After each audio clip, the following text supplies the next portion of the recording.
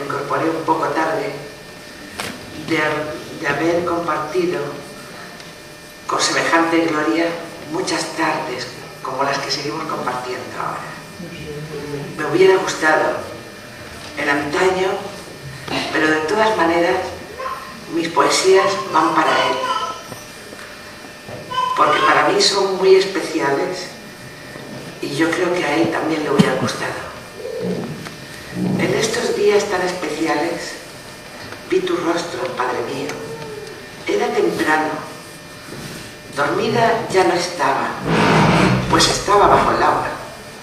De pronto vi tu rostro en una ventana, todo iluminado.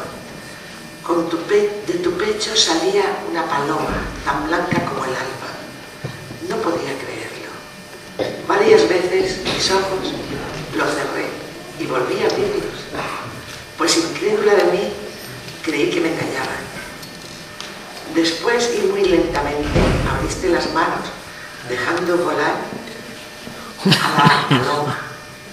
Esa paloma de belleza sin igual que tú liberabas.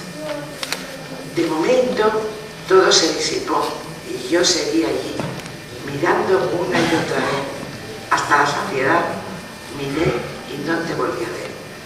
Ahora comprendo lo que con aquello me decías.